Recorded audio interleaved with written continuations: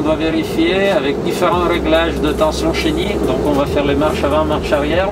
Et on va faire euh, au moins 3 voire 4 niveaux différents de tension.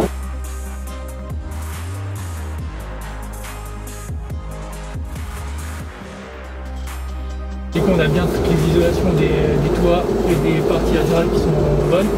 On a juste euh, sur les, les portes encore les Ouais. joints. euh, Oui, la zone de joint et d'ouverture de porte, elle est encore un peu à vérifier.